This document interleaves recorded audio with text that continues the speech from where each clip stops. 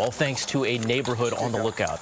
Cops in Louisville saving a woman who was chained to the floor of a home. This happened last Wednesday around 7 o'clock in the evening. Neighbors calling 911 about a woman screaming for help. You could see cops trying to get in. They had to use a ladder to climb up to a second story window. Body cam video showing them hacking at the restraint with an axe. This is like out of a horror movie. Rescue officials then used bolt cutters to cut the chain, eventually freeing the woman. Two days after the woman was rescued, Cops arrested 36-year-old Moise May. Now he faces several charges, including kidnapping and assault. Oh, wow. That is just wild.